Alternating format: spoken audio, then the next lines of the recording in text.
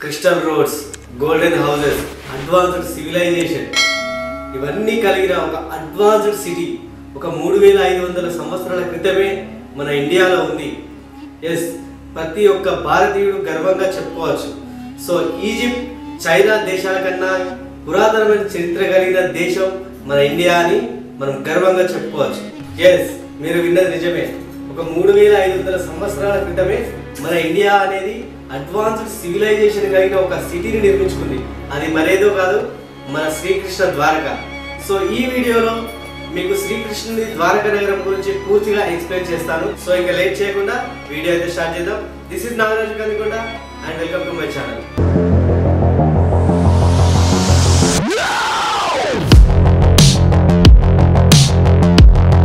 చరిత్రలో కనుమరుగైపోయిన అనేక అడ్వాన్స్డ్ సిటీస్లలో మన ద్వారకా ఒకటి.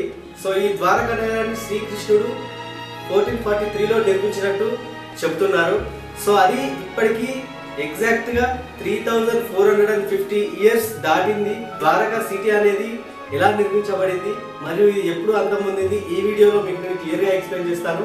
పూర్వం జరాసంధుడు అనే రాజు జరాసంధుడు ప్రస్తుతం ఉన్న బీహార్ని తన రాజధానిగా చేసుకొని పరిపాలిస్తున్న కాలంలో అక్కడ ఉండే శ్రీకృష్ణుని వంశస్థులను మరియు యాదవ వంశాన్ని ఈ జరాసంధుడు చాలా ఇబ్బంది పెడుతూ ఉన్న సమయంలో శ్రీకృష్ణుడికి ఈ జరాసంధునితో పోరాటం చేయడం ఇష్టం లేక శ్రీకృష్ణుడు విశ్వకర్మను పిలిచి ఒక అద్భుతమైన నగరాన్ని సముద్రం మధ్యలో కట్టమని చెప్తాడు. సో అప్పుడు విశ్వకర్మ తనకు సముద్రం మధ్యలో స్థలం కావాలని శ్రీకృష్ణుని అడగడం జరుగుతుంది.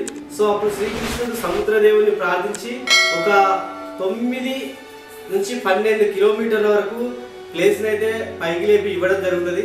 సో ఆ ప్లేస్లో దేవతల వాస్తుశిల్పి అయిన విశ్వకర్మ ఒక అద్భుతమైన నగరాన్ని నిర్మించడం జరుగుతుంది. సో అదే మన ద్వారకా నగరం. ద్వారకా సిటీలో ఎక్కడ చూసినా ముత్యాలు పొదిగిన ఇండ్లు ప్లస్ బంగారంతో నిర్మించిన గోడలు ప్లస్ క్రిస్టల్ రోడ్స్ అండ్ ఇంకా అడ్వాన్స్డ్ సివిలైజేషన్ కలిగినటువంటి డ్రైనేజ్ సిస్టమ్ ఇంకా ఎన్నో అద్భుతమైన వింతలు విశేషాలతో ఉండేది.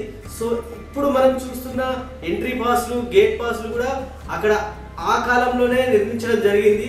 సో శ్రీకృష్ణ ద్వారక నగరానికి ఎవరైనా కానీ వెళ్ళాలంటే కంపల్సరీ పాసెస్ అయితే తీసుకోవాల్సి ఉంటుంది.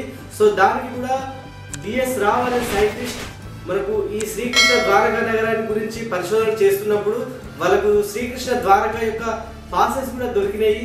సో దాన్ని మనం ఏమంటున్నామంటే ద్వారక నగరం యొక్క ముద్రలు అని అంటున్నారు. సో అవి ఉన్న వాళ్ళే ద్వారక నగరంలో ఎంటర్ కావడం జరుగుతుంది. సో అట్లాంటి పాసెస్ ఇచ్చి ఆ కాలంలోనే ఇండియాలో మనకు అద్భుతమైన నగరం సివిలైజేషన్ ఏర్పాటు చేశారు. మరి ఇంత అడ్వాన్స్డ్ సిటీ కనుమరుగైపోవడానికి కారణాలు ఏంటి అంటే ఈ ద్వారకా సిటీ అనేది ఒక అడ్వాన్స్డ్ వెపన్ ద్వారా నాశనం చేయబడింది. సో ఆ అడ్వాన్స్డ్ వెపన్ అనేది శివుడు అనే వ్యక్తి శివుని దగ్గర నుంచి పొందడం జరుగుతుంది. సో ఆ అడ్వాన్స్డ్ వెపన్ తోటి శివుడు అనే వ్యక్తి ఈ ద్వారకా నగరాన్ని మొత్తం నాశనం చేశాడు.